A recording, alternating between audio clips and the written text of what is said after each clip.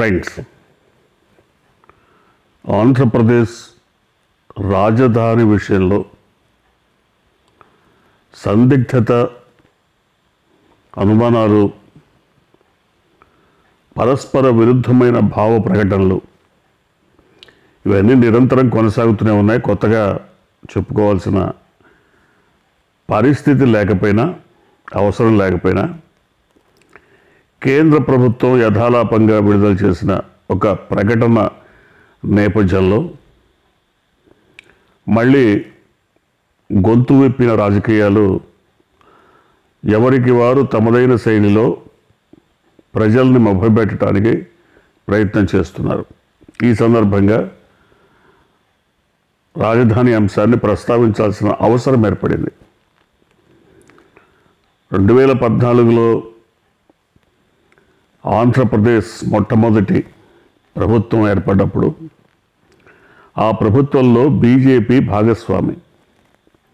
అఫీషియల్గానే అధికారికంగానే BJP భాగస్వామి. తెలుగుదేశం ప్రభుత్వం తీసుకున్న నిర్ణయాలన్నిటికీ కట్టుబడి ఉండి తల ఊపి సంతకం చేసినటువంటి అధికారిక భాగస్వామి.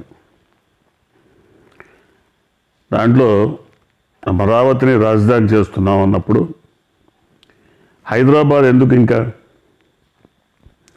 హైదరాబాద్ ఉమ్మడి రాజధానిగా ఇంకా అవసరం లేదు కదా. దాన్ని అధికారికంగానే తొలగించండి అని బీజేపీ ఒక తీర్మానం ప్రవేశపెట్టడము కేంద్రంలో అధికారంలో ఉంది కాబట్టి కేంద్ర పెద్దల్ని ఒప్పించి మెప్పించి ఇక నుంచి ఈ రోజు నుంచి హైదరాబాదు మాకు ఉమ్మడి రాజధాని కాదు అమరావతి రాజధాని అని తేల్చి చెప్పి ఉం- చెప్పించి ఉంటే ఇవాళ ఇంత సందిగ్ధత ఉండేది కాదు. అంటే బీజేపీ మొదటి నుంచి కూడా నీచ నికృష్టమైన రాజకీయాలు తెరచాటు రాజకీయాలు అసలు ఒకటమైనటువంటి నిర్ణయం తీసుకోగల సమర్థుడు లేనటువంటి రాజకీయాలు. ఈ గాలివాటు నిర్ణయాలతో గాలివాటు ప్రకటనలతో ఎటు అవసరం వస్తే అటు మాట్లాడే నైత్యపు రాజకీయాలు చేస్తున్నది బీజేపీ. వాళ్ళు ఇవాళ ఇవాటికైనా చెప్పచ్చు. వాటికైనా బీజేపీ చెప్పచ్చు. వైజాగే రాజధాని. లేదు వైజాగ్ కాదు అమరావతి మీ రాజధాని చెప్పేయచ్చు. ఈ రెండు కాదు పదేళ్ళ వరకు ఏదైతే ఉమ్మడి రాష్ట్ర విభజన సందర్భంగా చేసిన విభజన చట్ట ప్రకారం పదేళ్ళ వరకు మీరు మాట్లాడటానికి వీల్లేదు. ఇరవై నాలుగు వరకు హైదరాబాదే రాజధాని ఆ తర్వాతే మీరు కొట్టుకు చావండి అని చెప్పచ్చు. ఏమీ చెప్పదు. తనుకు చేస్తుంటే ప్రేక్షక పాత్ర వహిస్తుంది. కొట్టుకుంటుంటే ఆనందిస్తుంది. ఒక ఆడ మగ కాని నిర్ణయాల్ని తనదైన శైలిలో ప్రకటించి ఆనందిస్తుంది. ఇక్కడే సమస్య అంతా ఇక్కడే వస్తుంది. బీజేపీ ఇలాంటి పాత్ర బృహన్నుల పాత్ర పోషించడం వలనే సమస్య అంతా వస్తుంది. బీజేపీ ప్రభుత్వంలో ఉండి చేసింది లేదు. ఇవాళ కేంద్రంలో అధికారంలో ఉండి రాష్ట్రంలో తుడిచిపెట్టుకుపోయి చేయగలిగింది లేదు. కానీ మాటలు మాత్రం తూటాల్లా పేలుస్తుంటారు. మేము అది చేసాం ఇది చేసాం చర్చల్లో కూర్చొని టీవీలో బద్దలైపోయేలా దద్దరిల్లేలా అనేక రకాల మాటల తూటాలు పేలుస్తారు మరి కమలం పార్టీ నాయకులు. అవన్నీ పనికొచ్చేవి కాదు ఒక్కటి కూడా అమలయ్యేది కాదు. వైసీపీ పైనో టీడీపీ పైన లేకపోతే ఇంకో పార్టీల పైన సిపిఎం పైన సిపిఐ పైనో ఎవరిపైన మాటల తూటాలు పేల్చడమే తప్ప బీజేపీ కాంక్రీట్గా ఈ నిర్ణయం తీసుకుంది. దేశ భవిష్యత్తు కోసము. పోనీ మీ ఉమ్మడి రాష్ట్రాన్ని విభజించిన తర్వాత ఆంధ్రప్రదేశ్ భవిష్యత్తు కోసం ఈ నిర్ణయం తీసుకుంది. ఈ మేలు చేసింది. ఇంత డబ్బు ఎలకొట్ చేసింది. ఏమి ఒక్కటి కూడా లేదు. ప్ర- దేశానికి మొత్తానికి కాకుండా ప్రత్యేకంగా ఆంధ్రప్రదేశ్ కోసం ఈ పథకాన్ని ప్రవేశపెట్టింది. ఏదైనా ఉందా? ఇవన్నీ కాదు. అసలు విభజన చట్టం ప్రకారం రావాల్సినటువంటివి ఈ రోజు వరకు ఇచ్చిందా? ఒక్కటి కూడా ఇవ్వలేదు. వాళ్ళని టీవీలో పిలుస్తారు కూర్చోబెడతారు ఆ పార్టీ నాయకుల్ని. అవాకులు చెవాకులు మాట్లాడతారు వాళ్ళు. వాళ్ళు ఇష్టం ఉన్నట్టు ఏంటేంటో అసలు సమ్ సబ్జెక్ట్తో సంబంధం లేని విషయాలు. మేము ఇది చేశాం ఈ రోజు వరకు చెప్పగలరా ఎవరైనా? చెప్పలేరు. రాజధాని విషయమే తీసుకుందాం. రాజధాని విషయంలో ఎస్ స్పష్ట స్పష్టంగా ఒక ఎంపీ కేరళకు సంబంధించిన ఒక ఎంపీ పెట్రోలియం ధరల విషయంలో ఒక క్వశ్చన్ వేశాడు ఒక ప్రశ్న. దానికి జవాబిస్తూ కేంద్ర మంత్రి రాష్ట్రాల్లో ఎంత ఉన్నాయి వాటి రాజధానిలో ఎంత ఉన్నాయి ఇది రేట్లని ఏదో చెప్పాడు. చెప్పినప్పుడు ఆంధ్రప్రదేశ్కి సంబంధించి వైజాగ్ను వాళ్ళ రాజధానిగా సూచించారు. ఎస్ చెప్పండి మేము వైజాగ్ని రాజధానిగా గుర్తిస్తున్నామని.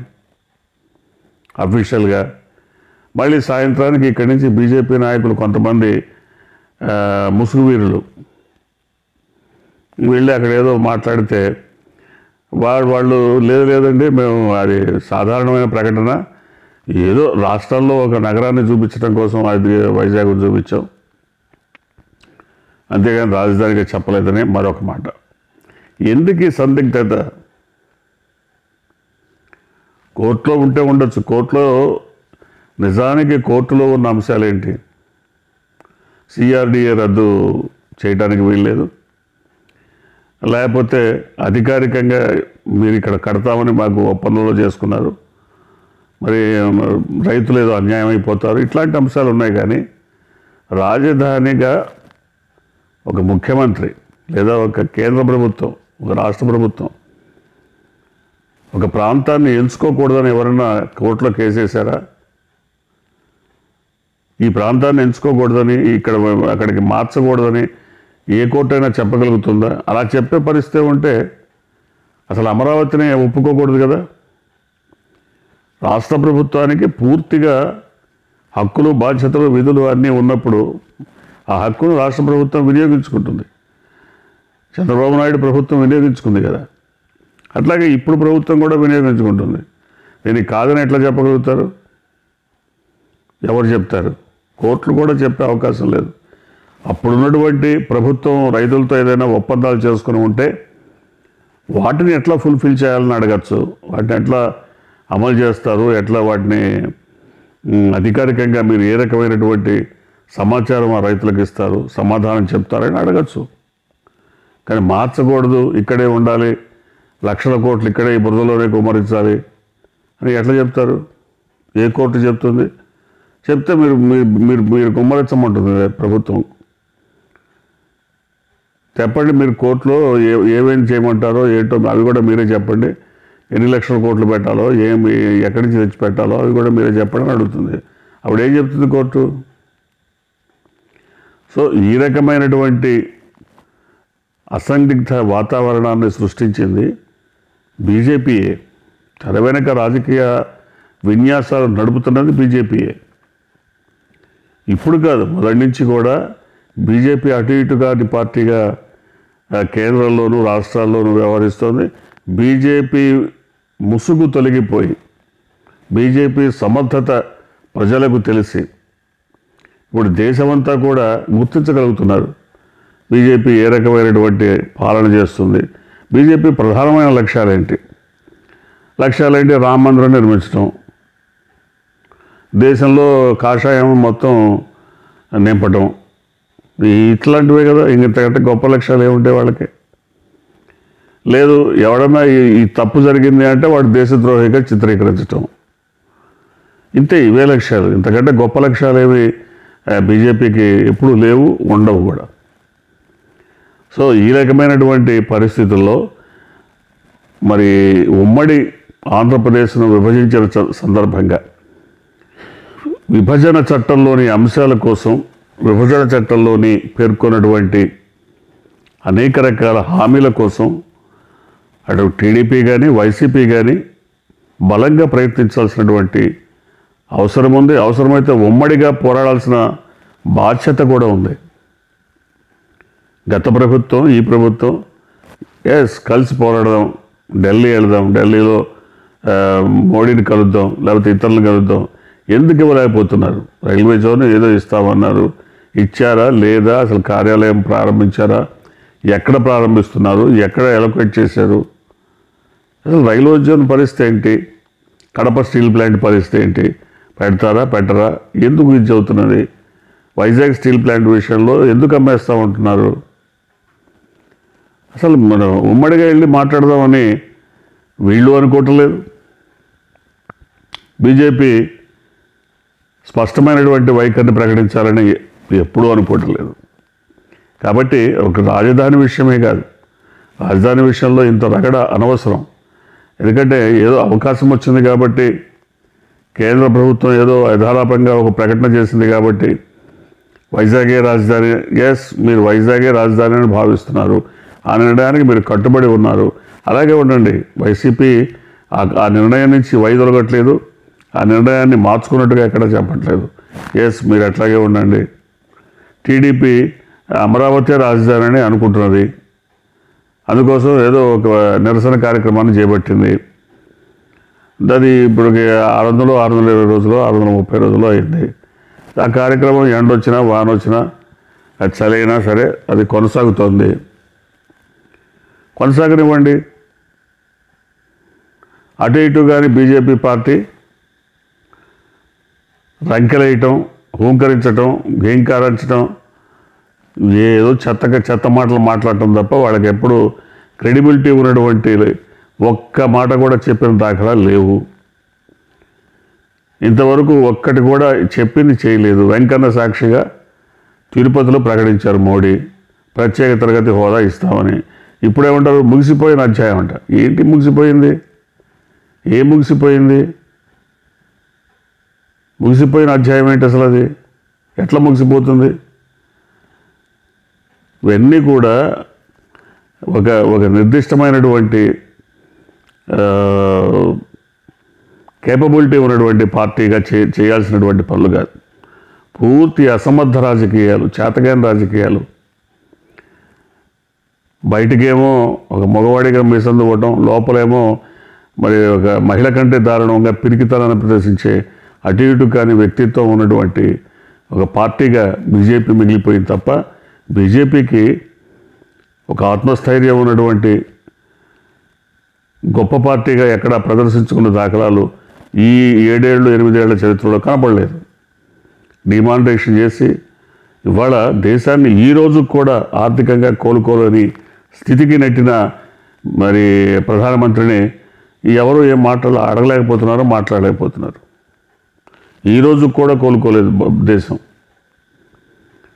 సో ఇటువంటి నిర్ణయాలు అనేక ఉన్నాయి. రైతులు దాదాపు ఏడాదిన్నరగా దాదాపుగా ఎండకి ఎండుతూ చలికి వణుకుతూ వర్షానికి తడుస్తూ ఉద్యమం చేస్తుంటే వాళ్ళని కనీసం పట్టించుకోరా? కనీస మానవత్వం కూడా లేదా? ఇట్లాంటి బీజేపీని ఎందుకు ఆదరించాలి ప్రజలు? సో అందువల్ల బీజేపీ ఆడిన నాటకానికి తెలుగు ప్రజలు బలైపోతున్నారు. తెలుగు రాష్ట్రం బలైపోతుంది.